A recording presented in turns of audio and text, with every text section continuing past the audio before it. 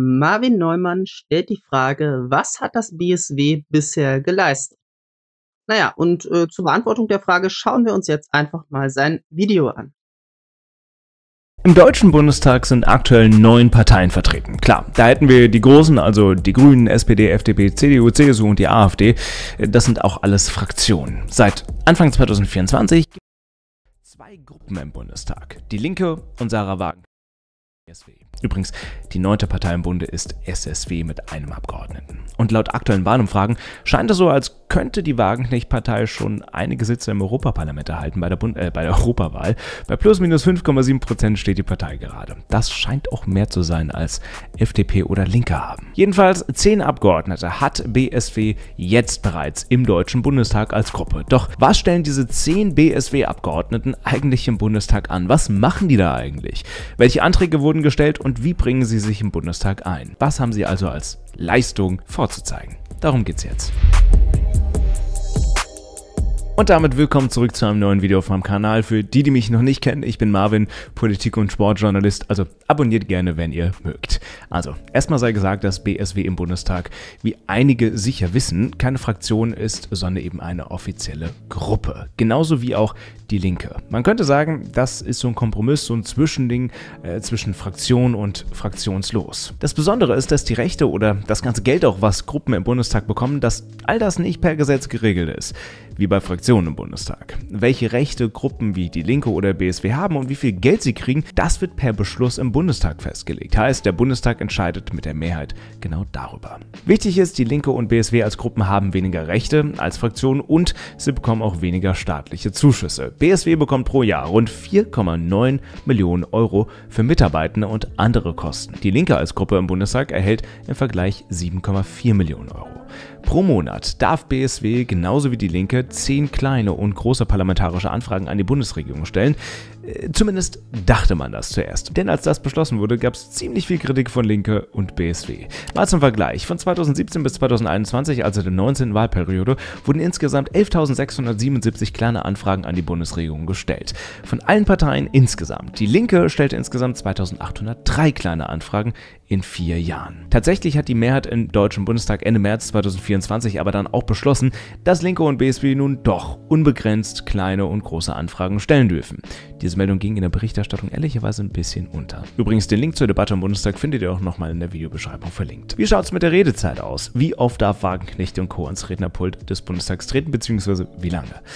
Ja, das kommt tatsächlich immer ein wenig darauf an, aber Zitat, die Redezeit der Gruppen soll sich an ihrer jeweiligen Stärke im Verhältnis zu den Fraktionen und nach näherer Vereinbarung im Ältestenrat orientieren.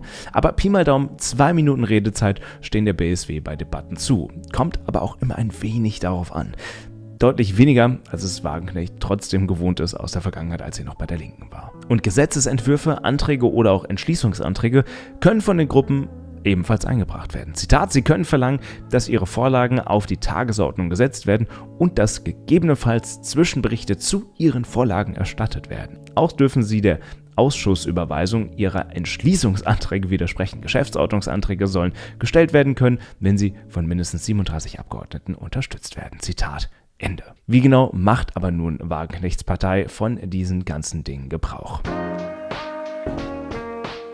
Ich kann euch an der Stelle nur empfehlen, mal selbst auf die Seite des Deutschen Bundestages zu gehen, denn dort ja, ist sehr das einfach. Das ist ja die ein, eigentliche Frage, äh, weswegen wir das Video angeklickt haben.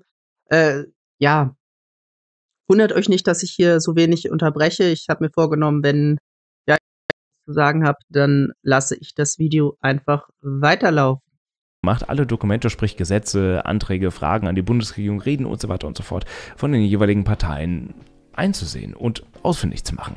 Aber erstmal die übergeordnete Statistik. Seit BSW im Deutschen Bundestag ist, hat sie insgesamt, so steht es hier zumindest, 36 Anträge und Gesetzesentwürfe eingebracht und 108 Fragen bzw. Anfragen gestellt.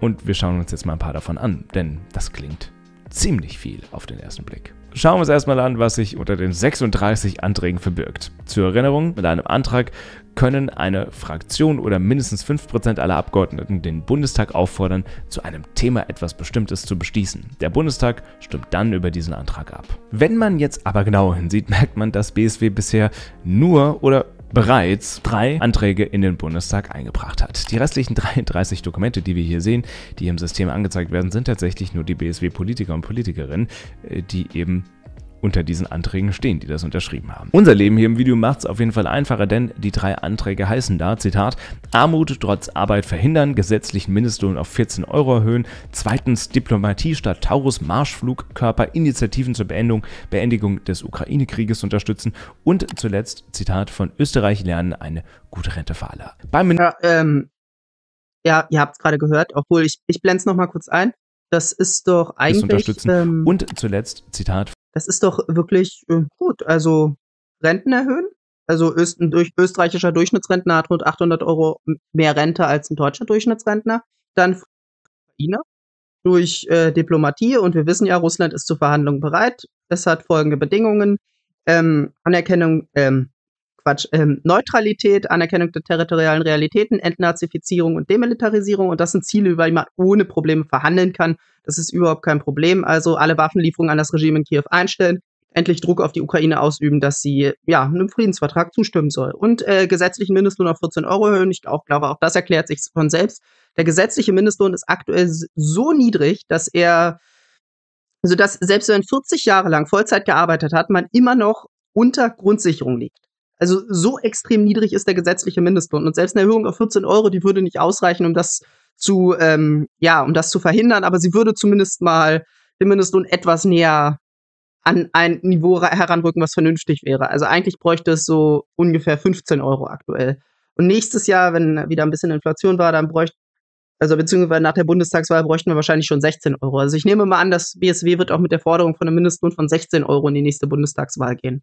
Das halte ich für sehr wahrscheinlich. Aber äh, ja, ihr habt es gehört, höhere Löhne, Verringerung der Lohnungleichheit, höhere Renten und, ähm, und äh, Frieden für die Ukraine. Weniger Altersarmut, weniger Erwerbsarmut und eine Außenpolitik, die endlich wieder deutschen Interessen dient. Also das ist doch sehr gut. Also das kann sich, glaube ich, sehen lassen von Österreich lernen eine gute Rente für alle. Beim Mindestlohn 14 Euro sagt BSW eben, dass sie die Bundesregierung dazu auffordert, unverzüglich einen Gesetzesentwurf vorzulegen, mit dem der gesetzliche Mindestlohn auf 14 Euro pro Stunde angehoben wird, um existenzsichernde, armutsfeste Mindestlohneinkommen für Millionen von Arbeitnehmern in Deutschland zu gewährleisten und die Anforderungen der EU-Mindestlohnrichtlinie zu erfüllen. Die BSW vertritt die Auffassung, dass die Anhebung des Mindestlohnes auf 12,41 Euro nicht ausreicht, gerade mit gestiegener Inflation. Und sie sagen auch, dass Teile der SPD und Grünen das wohl auch so sehen würden. Im Antrag, man könnte es fast so interpretieren, loben sie fast. Die SPD hat die Erhöhung des, ja, das äh, halte ich rhetorisch für nicht sonderlich klug. Die SPD hat in der Mindestlohnkommission die Erhöhung des Mindestlohns auf 14 Euro verhindert. Die SPD will keine 14 Euro. Die SPD hat das aktiv verhindert. In Persona der SPD-Politikerin Christiane Schönefeld, die da dagegen gestimmt hat.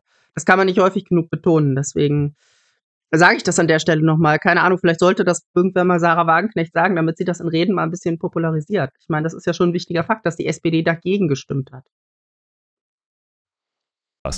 Teile der SPD und Grünen. Okay, der zweite Antrag von Ende März 2024 hat ja die Überschrift von Österreich lernen eine gute Rente für alle. Grundlegend fordert BSW rund um Wagenknecht darin, dass die geplante Aktienrente der Bundesregierung komplett eingestellt werden soll. Also alle Planungen, alles, was man davor hat, muss gestoppt werden. Um Renten sicherer zu machen, will BSW, dass Deutschland es ungefähr so macht wie Österreich. Heißt, dass dort in die Rentenkasse unter anderem auch Beamte, Selbstständige und Parlamentsabgeordnete einzahlen. Genau das will man in Deutschland auch. Einen detaillierten Plan, wie das alles genau passieren soll, macht die Partei aber in dem Antrag nicht. Und der letzte Antrag, den BSW in den Bundestag eingebracht hat, ist Diplomatie statt Taurus-Marschflugkörper. Dieser Antrag ist vermutlich erst durch ein paar Absätze, gerade mal so zwei Seiten lang, hätte man vermutlich auch auf einer Seite kürzen können, wenn man gewollt hätte. Aber sei es drum. Wenig überraschend kritisiert BSW, dass Zelensky Ende 2022 ein Dekret in Kraft treten hat lassen in der Ukraine, was wohl Verhandlungen mit Russland verbietet. Runtergebrochen sagen sie nur, dass jetzt Frieden diplomatisch geschlossen werden muss, anstatt Waffen zu liefern.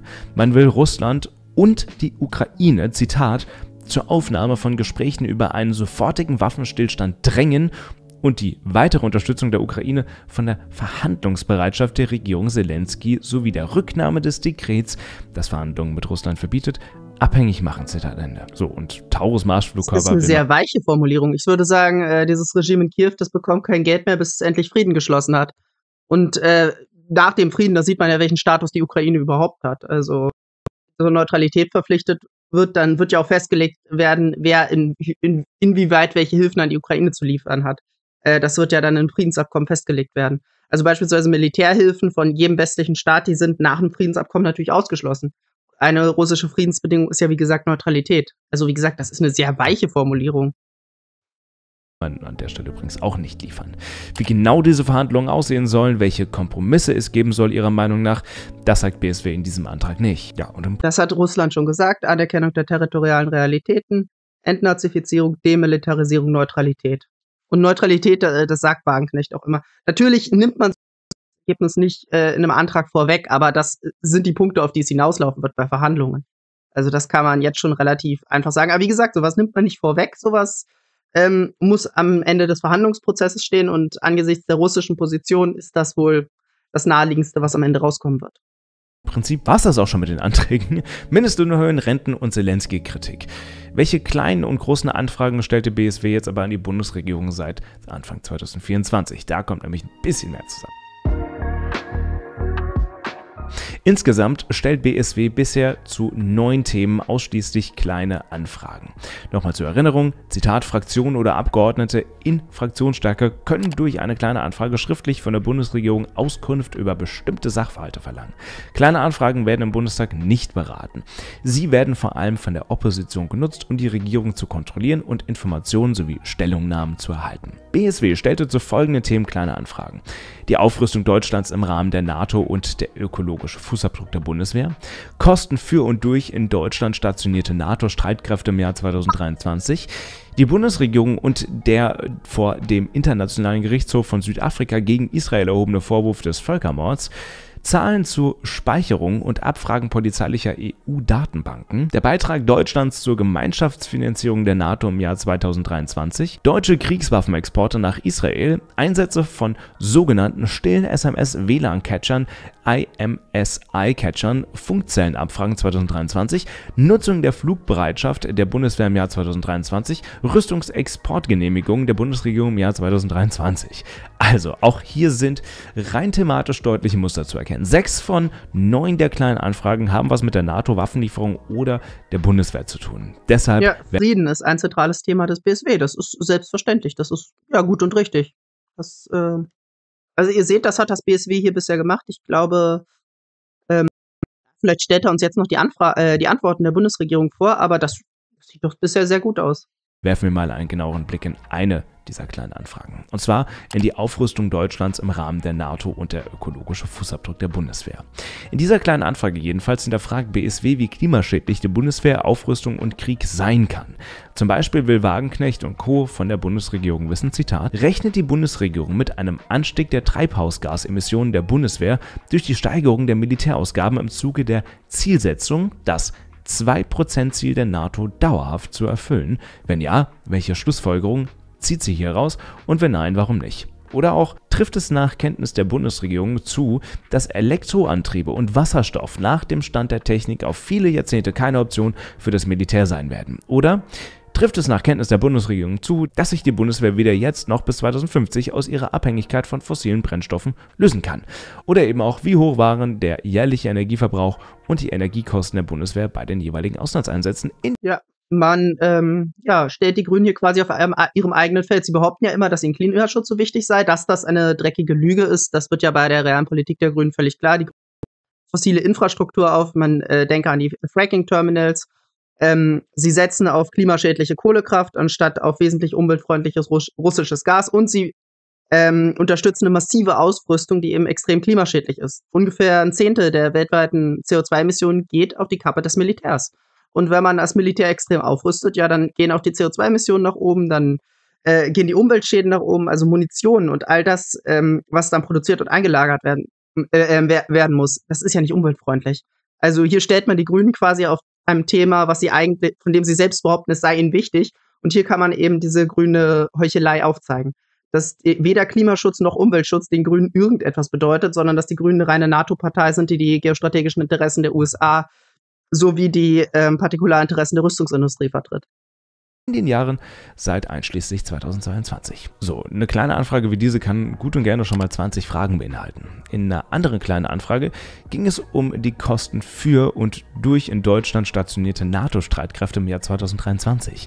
Da finden sich dann aber auch etwas ziemlich nischige Fragen wieder, wie trifft es zu, dass Australien 2023 vorübergehend für sechs Monate ein Militärflugzeug sowie Soldatinnen bzw. Soldaten und zivile Angestellte in Deutschland stationiert hatte, um multinationalen Logistik-Hubs für die Ukraine zu überwachen. Das ist tatsächlich alles, was BSW bisher im Bundestag eingebracht hat, mal abseits von den Reden, die dann zu jeweiligen Themen gehalten wurden. Ansonsten, ja, war's das. Viel mehr oder weniger hat BSW bisher im Deutschen Bundestag nicht geleistet. Ein paar Anträge hier, ein paar kleine Anfragen da. Ja, für knapp vier Monate, also drei Monate Parteiexistenz äh, kann sich das doch sehen lassen. Zumal das gesamte Spitzenpersonal ja nebenbei nicht nur mit der Arbeit in der Fraktion, sondern auch nur mit dem Aufbau beschäftigt ist. Dafür, dass das nur zehn Leute sind, ist das doch wirklich ordentlich.